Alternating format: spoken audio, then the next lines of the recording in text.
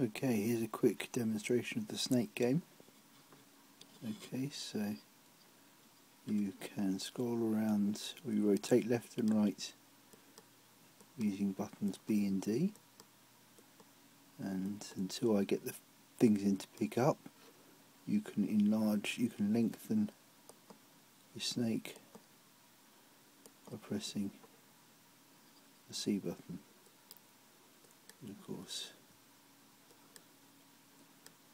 when you get too long you can crash. And we're going to do it now mate. there we go. Crashed. Game over